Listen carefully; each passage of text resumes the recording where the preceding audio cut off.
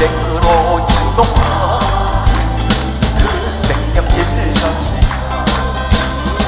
세상 많은 사람 큰 문으로 들어가 넓은 길로 간지가 열만 길로 끝나 세상 헛들기여 모두의 보고 있고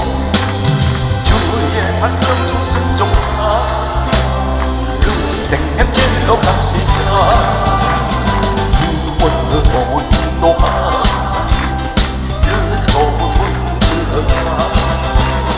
유언으로는 노하 일생의 길 갑시다 무원의 문 열렸음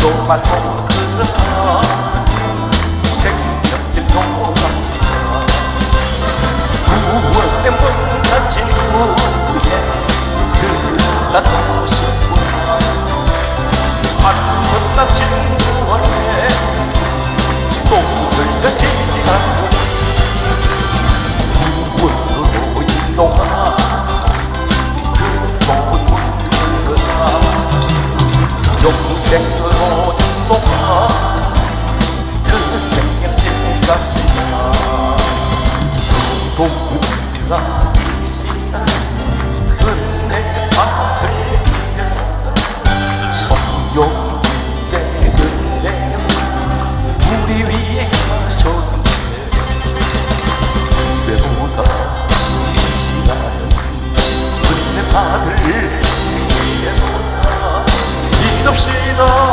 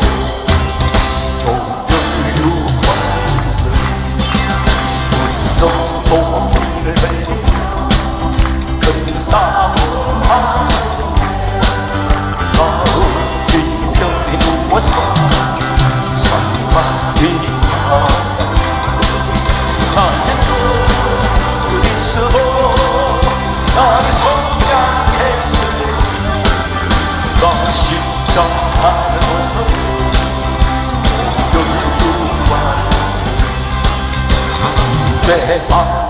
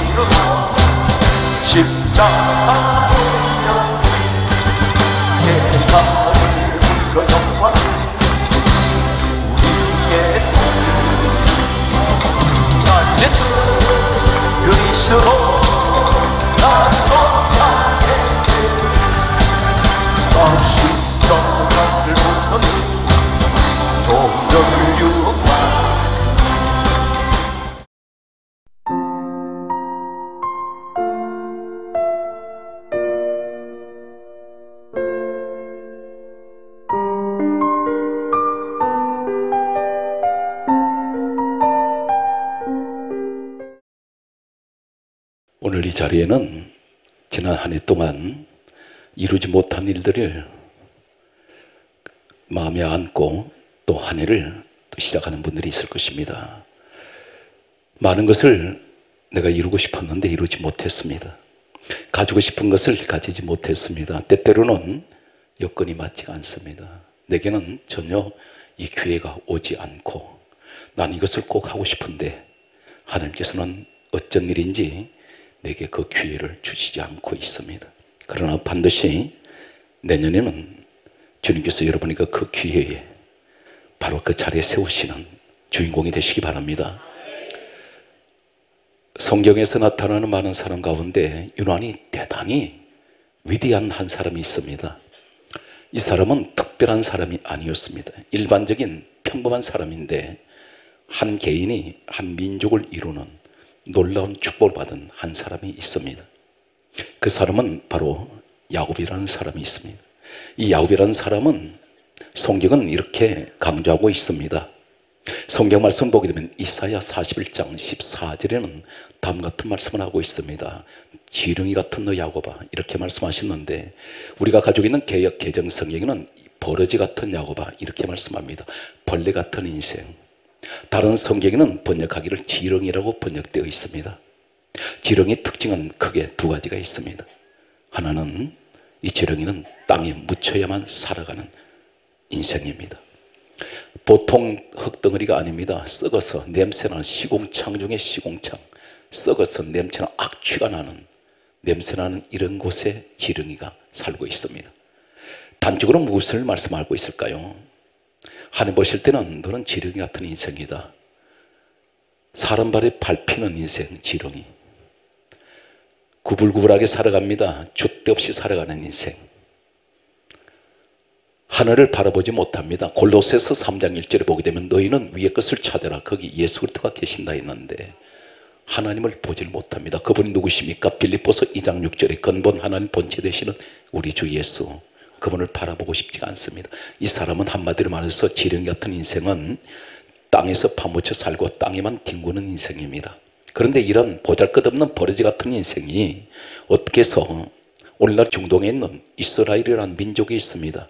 바로 이 야곱 이름이 창세기 32장 24절에 야복나루토에서 하나님께서는 이 야곱 이름을 이스라엘로 하나님 직접 지어주시고 이름을 바꿔주신 사람 이 야곱 이 사람을 가리켜서 오바다서 1장 18절은 다음과 같이 말씀을 하고 있습니다 야곱은 이 사람을 가리켜 야곱 족속은 불이 될 것이요 이렇게 말씀합니다 이 족속이란 이 말은 집안을 의미합니다 야곱의 집안은 불이 될 것이라 했습니다 불의 특징은 몇 가지가 있습니다. 첫 번째는 모든 불은 호롱불이든 모닥불이든 모든 불은 위로만 올라갑니다. 무엇을 말씀한지 아십니까? 너 집안은 이 야곱의 족속은 너는 위에만 있고 아래 있지 아니하고 너 머리가 되고 꼬리가 되지 않을 것이다. 너는 위로만 올라갈 것이라는 것입니다. 야곱 족속은 불이 된다는 오바다서 1장 18절의 말씀 가운데에서 또한 가지는 어떤 특징을 가지고 있습니까? 모든 불은 번지는 에너지가 있습니다. 힘이 있습니다. 가만히 있지 않습니다. 생명력이 있어서 계속해서 번져나갑니다. 다시 말씀드려서 이 야곱의 집안은 계속해서 불같이 번져나가고 번성할 것을 약속을 하고 있습니다. 이 야곱 족속은 불이 된다는 하나님의 이, 이 축복의 이 말씀은 오늘 우리에게 이 말씀을 하나님께서 주실 줄로 저는 확신합니다. 오늘 계속해서 이 불의 특징은 어떤 것이 있나요? 호롱불이든 모독불이든 어떤 불은 크고 작은 것 상관없이 한결같은 공통점은 불은 모두가 흔들거립니다. 무슨 말입니까? 오늘 이 야곱 집안은 불의 집안입니다. 불이 흔들거리는 것은 은혜의 춤을 추는 것을 의미하기도 하고 기쁨의 춤이 있습니다. 환희의 춤이 있습니다. 늘 흔들거립니다. 불의 특징은 또 한 가지가 어떤 것이 있습니까? 어둠이 없습니다. 불이 있는 곳에는 어둠은 사라집니다.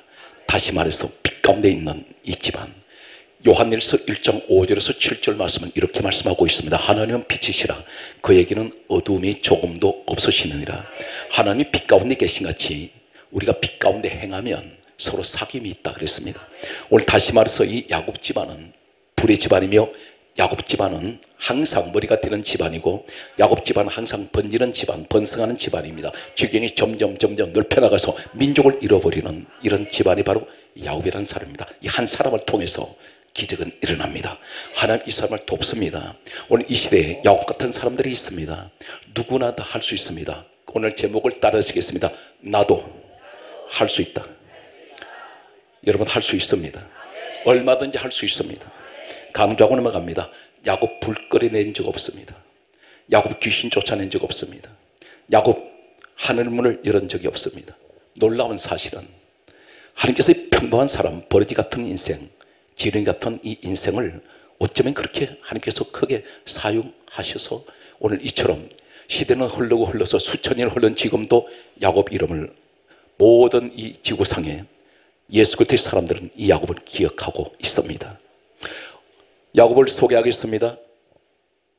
야곱이라는 사람은 이 사람은 이삭이라는 아버지 어머니 리브가 몸에서 태어났습니다. 쌍둥이로 태어났는데 간발의 차이로 태어난 이 쌍둥이 야곱은 형이 가지고 있는 장자꾼이 늘 탐났습니다. 그래서 나이 많은 아버지 이삭을 속이고 이 야곱은 형이 받아야 될 장자꾼 축복을 가로챘습니다. 이 사실을 알게 된 형 에서는 야곱을 죽이려고 혈안이 되었습니다.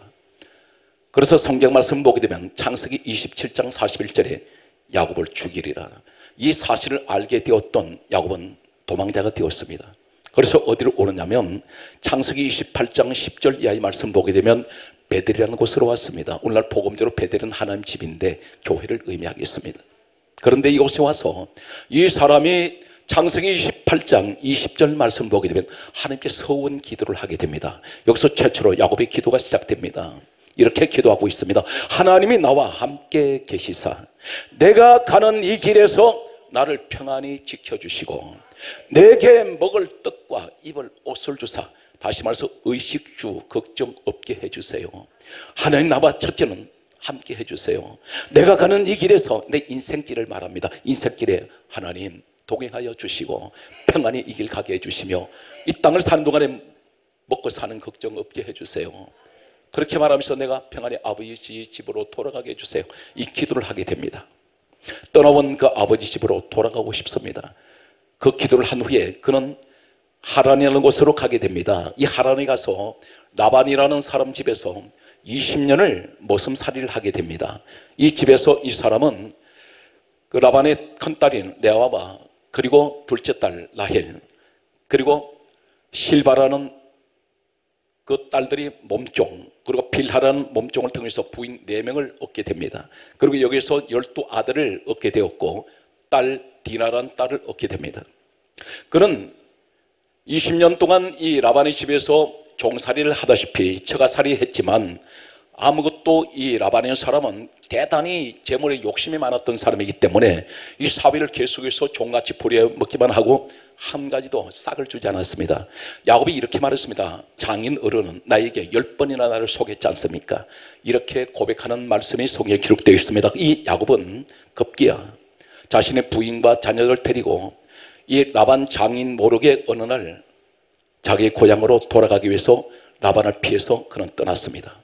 이 사실을 알게 되었던 장인들은 나반이 야곱을 죽이기 위해서 뒤쫓아오기 시작합니다.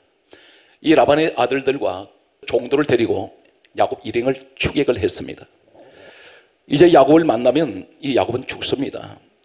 이를 갈고 달려오는 이 라반에게 날이 저물어서 잠을 자는데 내일이면 이제 야곱을 만나게 되고 있습니다.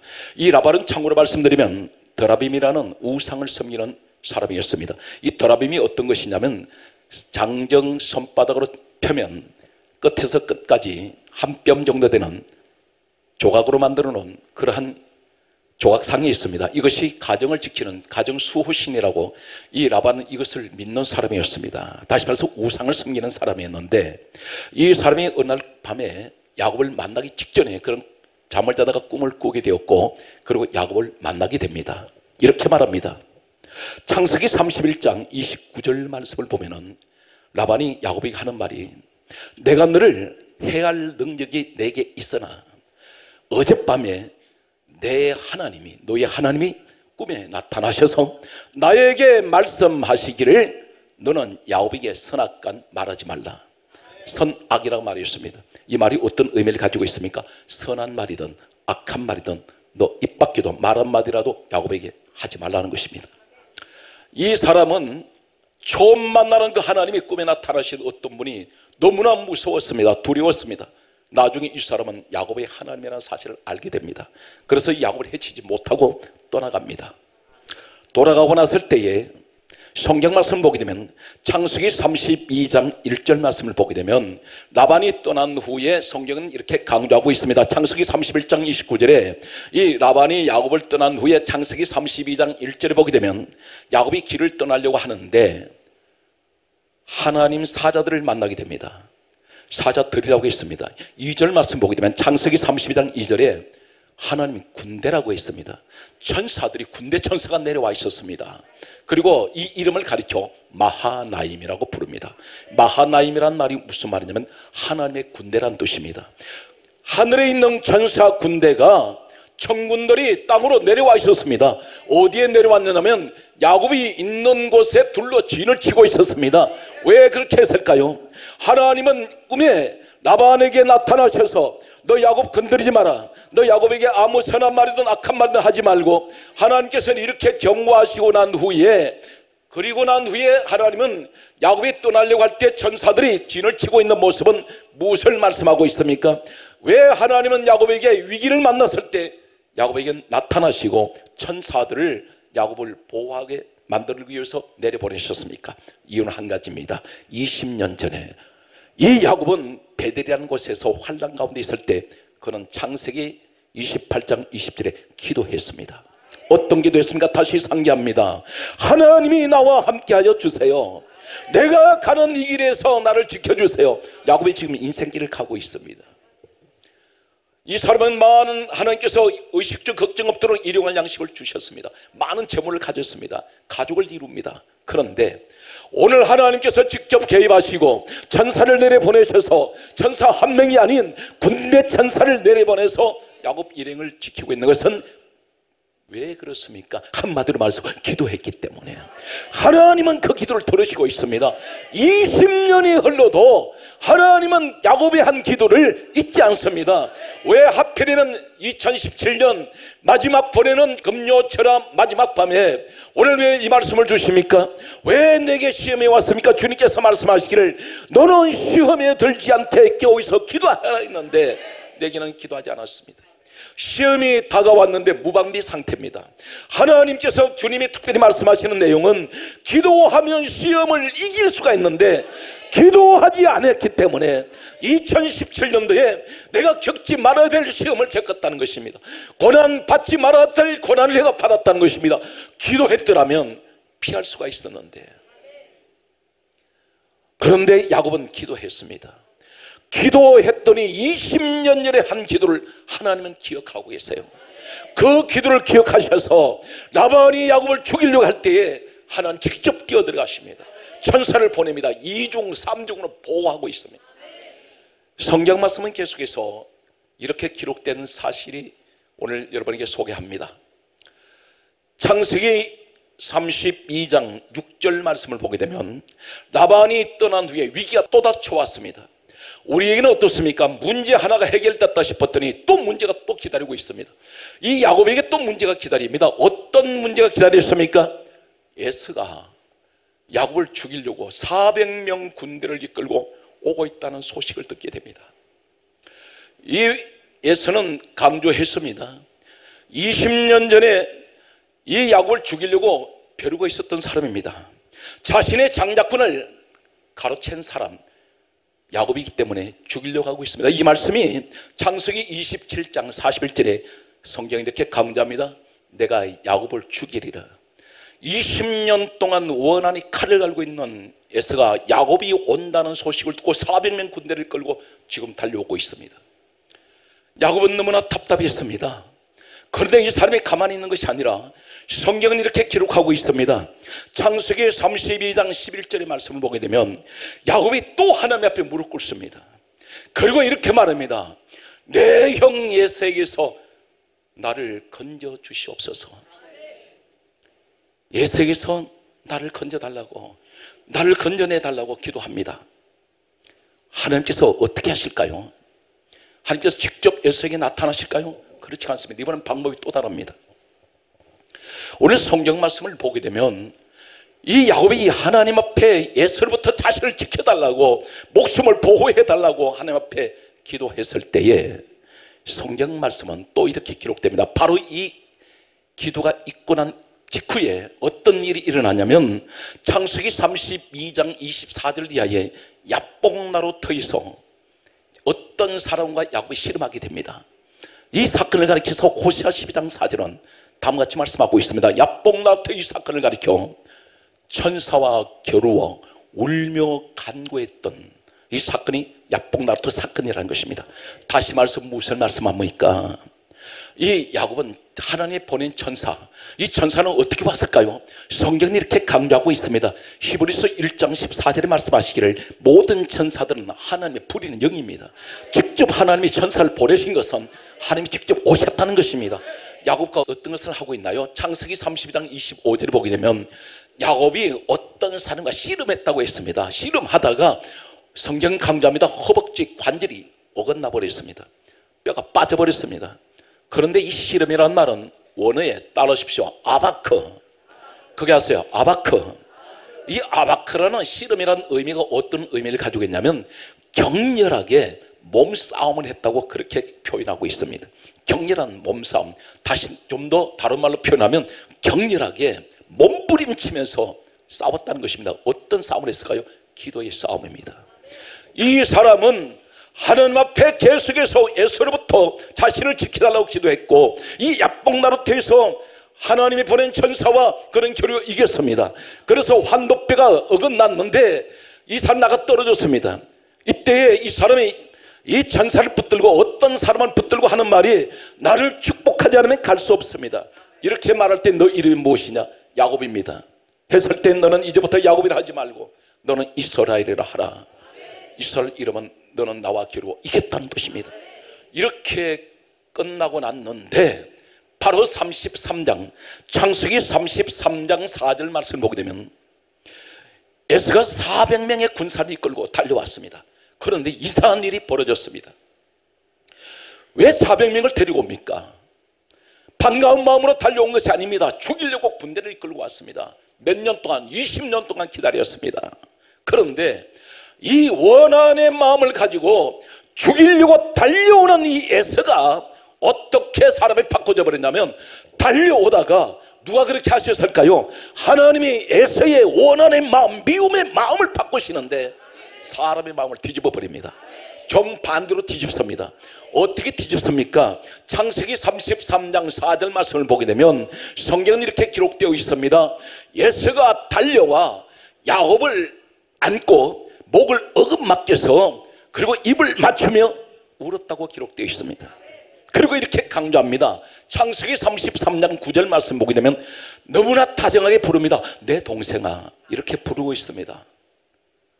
왜 이렇게 되었을까요? 왜 에서가 죽이려고 달려드는 이 원수가 이 야곱을 끌어안더니 입을 맞추고 울었습니다. 그리고 하는 말이 내 동생아 이렇게 부릅니다.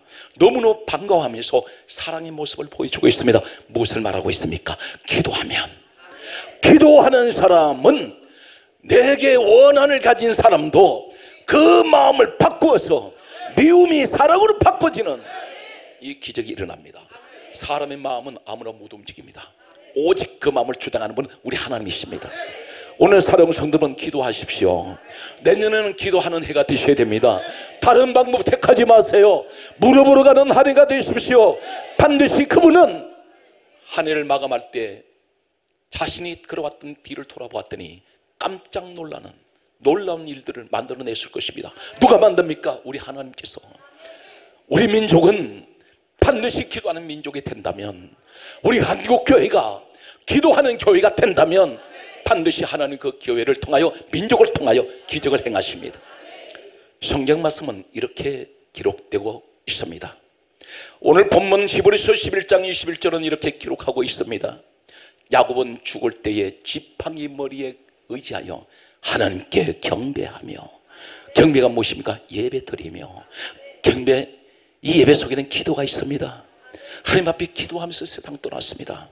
야곱의 일생은 기도를 통해서 인생을 역전시켰고 이 사람을 통해서 누가 태어났습니까? 바로 이 야곱을 통해서 셋째 아들 레비라는 사람은 성경 말씀 보게 되면 출애굽기 28장 1절에 이 땅이 최초로 하나님이 세우신 대제사장이 있습니다. 그 제사장 집안이 누구인가요?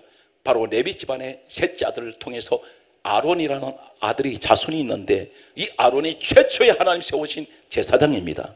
이때부터 1500년 동안 누가복음 1장 5절을 보게 되면 바로 세례 요한의 아버지 사가랴 그 어머니 엘리사벳이 바로 이 레비 집안의 아론의 자손이었더라. 1500년 동안 영적인 최고의 지도자들이 1500년 동안 이 집안에서 명문 가문이 되었고 이 집안에서 영적 지도자가 다 나왔습니다. 오늘 여러분 기도하는 사람은 이런 기적을 만들어낼 수가 있습니다. 넷째 아들 유다를 통해서 누가 왔습니까? 바로 이 집안이 넷째 아들 유다를 통해서 왕족 가문이 되는데 여기서 다윗이란 왕이 태어났고 솔로몬 왕이 태어났으며 히스기야가 태어났습니다. 바로 이 유다 집안을 통해서 누가 오셨습니까? 예수님이 오셨습니다. 사랑하는 성도 여러분, 자녀를 사랑하십니까? 자녀를 사랑한다면 아버지 어머니가 기도하셔야 됩니다. 많은 재산을 물려주려는 보다도 영적인 가장 귀한 재산이 무엇입니까? 유산은 기도입니다. 부모님이 자녀로서 많은 기도를 쌓아놓으면 이 자녀는 평생 동안 그 기도를 찾아 먹습니다. 하나님이 이 자녀의 기도를 기억합니다. 오늘 야곱이 기도했더니 20년 후에도 하나님 그 기도를 잊지 아니하시고 기억하십니다. 오늘 성경 말씀은 기도하면 어떤 일이 일어날까요? 민수기 11장 1절에서 2절 말씀을 보면은 모세 시대 때에 하나님께서 보실 때 진노의 불을 내렸습니다. 많은 사람들이 불에 타 죽어갑니다. 그런데 단 한 사람 모세가 이 광경을 보면서 당황하는 것이 아니라 모세가 하나님 앞에 기도했더니 하나님의 진노의 불이 꺼졌더라. 주여 이 민족이 하나님의 진노의 불이 임하지 않도록 주여 우리 민족이 기도하기를 간절하게 소원합니다. 기도하는 가정에는 환란의 불이 꺼져버립니다. 기도하는 가정에는 더러운 영들의 권세를 이길 수가 있습니다. 한국교회가 주요 환란을 만났습니다. 이 환란의 불이 꺼지도록 주의 종들이 기도하며 모든 교회 성도가 기도하게 해주셔서 대한민국의 가장 살기 좋은 나라 가장 부흥하는 한국교회가 되도록 주여 기도하게 하여 주시옵소서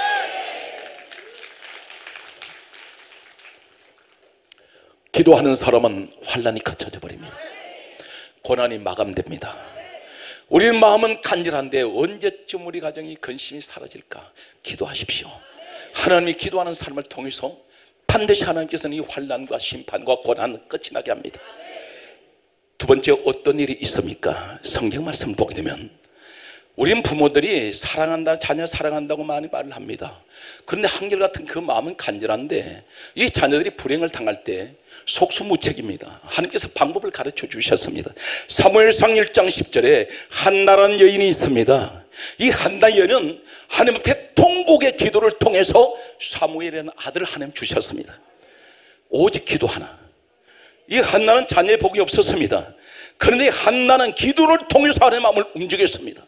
그리고 구약의 최고의 선지자라고 할 수 있는 사무엘 이 사무엘이 사는 날 동안 태평한 이 민족을 하나님께서는 왜 축복하십니까? 사무엘이라는 이 아들 주신 것은 한나 어머니 한나란 뜻이 어떤 뜻입니까? 은혜라는 뜻입니다 은혜의 어머니를 두셨던 이 사무엘은 복받은 자녀입니다 가장 자녀 중에 자녀가 가장 부모님의 복을 받은 것이 무엇일까요? 많은 물질을 남겨주는 많은 재산을 물려주는 부모님이 가장 훌륭한 어머니 아버지일까요? 가장 영적으로 훌륭한 아버지 어머니는 기도하는 사람입니다. 이 한나의 기도는 사무엘의 아들이 복을 받았습니다. 주여 우리가 오늘 이 시간 간절히 기도합니다. 하나님 내 가정의 자녀 때문에 날마다 근심하며 염려하며 살아왔는데 때는 밤잠을 이루지 못하면서 이 아이 때문에 날마다 불안하고 날마다 두려운 마음으로 왔습니다. 주여 이제는 내가 한나처럼 은혜의 모습을 가지고 기도하기 원합니다. 주여 우리 자녀를 축복하여 주시옵소서.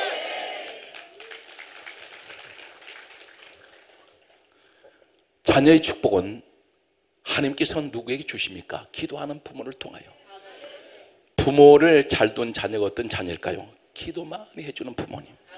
이 자녀는 반드시 환란이 오지 않습니다. 하나님께서 지켜주십니다. 세 번째 어떤 일이 있을까요? 여러분 가운데 우리는 다 질병을 한두 가지는 다 가지고 있습니다. 크고 작은 질병이 있습니다. 그런데 어떤 질병이라도 하나님께서 죽을 생명 또 살려주시는 사람이 있습니다. 하나님이 지금 데려가시려고 하는 사람을 15년 생명을 연장시킨 사람이 있는데 그 사람이 히스기야라는 왕입니다. 왕이라면 이 사람은 천하에 좋은 약은 다 먹었을 것입니다.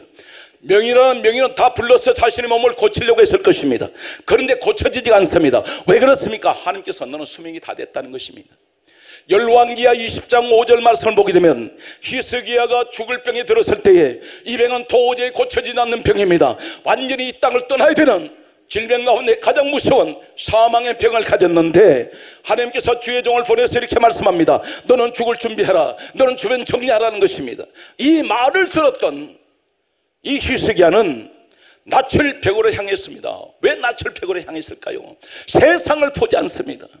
낯을 벽으로 향했다는 것은 오직 하나님만 바라봅니다. 그리고 그는 성경 강조하고 있습니다.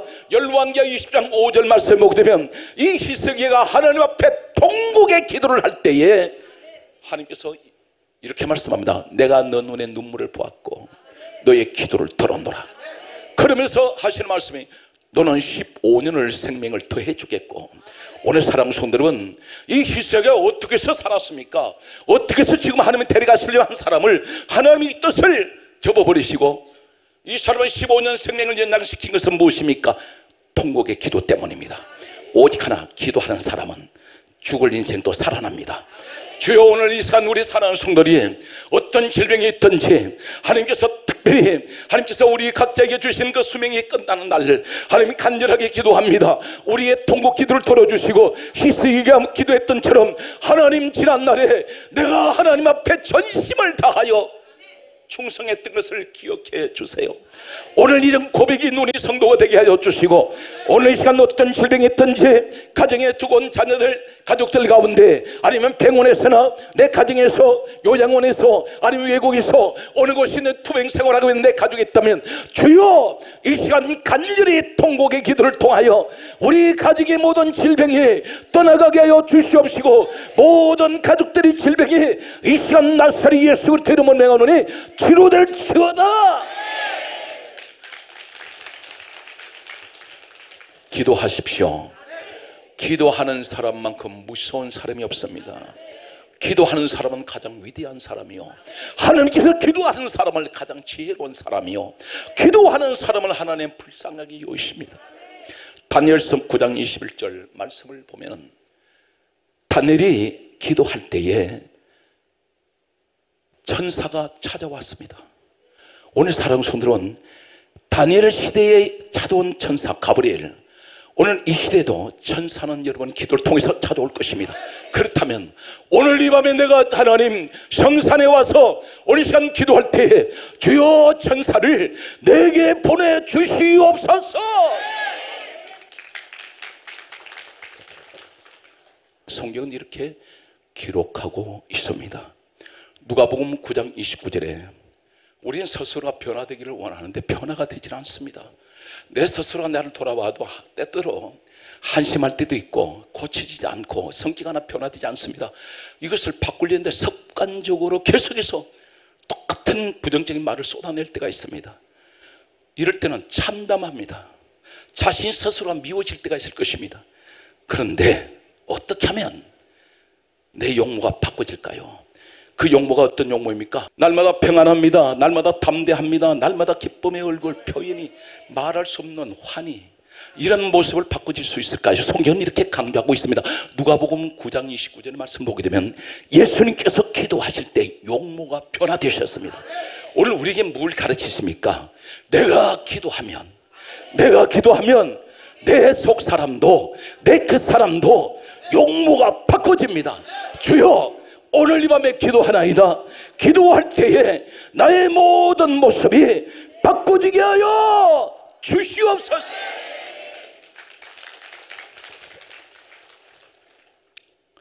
성경 말씀을 계속해서 보면 성경은 또 이렇게 기록하고 있습니다.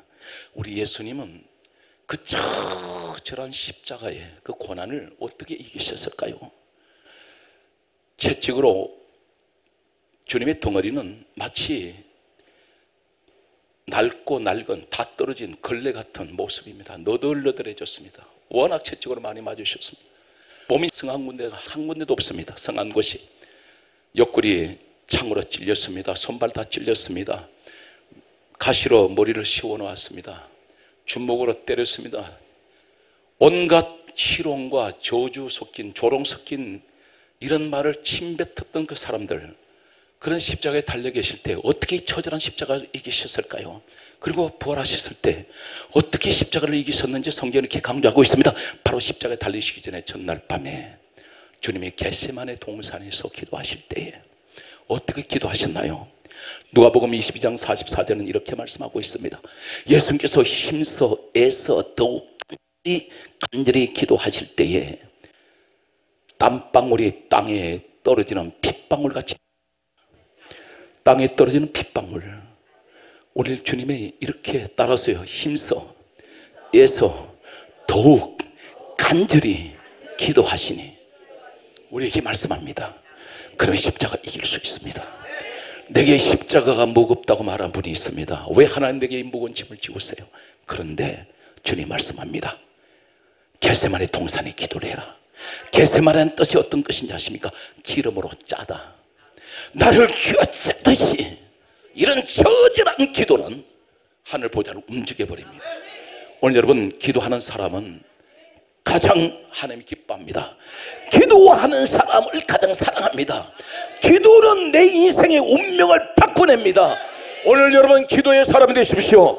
주여 우리 성도들이 모두가 기도하는 사람 오늘 하나님 야곱 같은 사람 되게 하여 주시기를 예수 이름으로 축복합니다.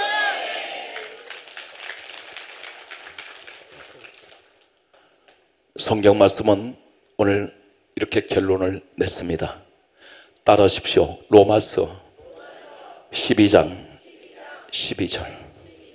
크게 하세요. 소망 중에 즐거워하며 크게 하세요. 환란 중에 참으며 크게 하세요. 기도에 항상 힘쓰라. 로마서 12장 12절 말씀합니다. 우리가 문제가 왔다고 그 문제 가운데 절망하면 안 됩니다. 문제만 보지 마세요. 문제 속에 감추어진 무엇을 봐야 됩니까? 축복을 보시는 이 눈이 열려야 돼요. 포장을 뜯어보면 그 안에 내용물이 다른 것이 들어있듯이 중요합니다. 먹구름이 덮였을 때 시커먼 먹구름 덮었을 때 반드시 비는 내립니다. 똑같습니다. 내게 칠흑 같은 어둠의 장막이 고난이 덮쳤다 할지라도 그것은 바로 축복이 오는 징조입니다 오늘 가급적 가급적이면 가급적이면 가급적이면 아니라 반드시 필연적으로 어떤 일이 있더라도 소망 중에 즐거워하세요. 그리고 환란 가운데 참으세요. 결론이 무엇입니까? 항상 기도에 힘써라. 기도하는 사람은 위대한 일을 만들어냅니다. 오늘 사도행전 3장 1절의 마지막 오늘 여러분에게 소개하는 이 말씀은 어떤 말씀입니까? 제9시 기도 시간에 제9시 기도 시간에 여러분 하수만 때만 기도 시간 정해서 기도하십시오. 그것이 시간이 몇 분이냐 중요한 것이 아닙니다. 반드시 정한 시간에 기도하시기 바랍니다. 제9시 기도 시간에 베드로 요한이 성전에 기도하러 올라가다가 나면서 안전뱅이를 보았는데 이 안전뱅이를 보았을 때 우리를 보라 말합니다. 그리고 하는 말이 내게 은과 금은 내게 없거니와 내게 있는 것으로 내게 주노니 곧 나사리 예수 이름으로 일어나 걸어라. 잡았더니 일어났어요. 언제 일어납니까? 기도 시간에. 오늘 이 현장이 그 시간 되시기 바랍니다. 오늘 이 기도 시간에 하나님 모든 것이 일어날 줄로 믿습니다. 오늘 기도 시간에 불치의 병에 치료받고 막혔던 문제가 하수구가 뚫리듯이 모든 것이 열려버리는 오늘 이 축복의 시간 바로 이 시간에 되게 하여 주시기를 예수 이름으로 축복합니다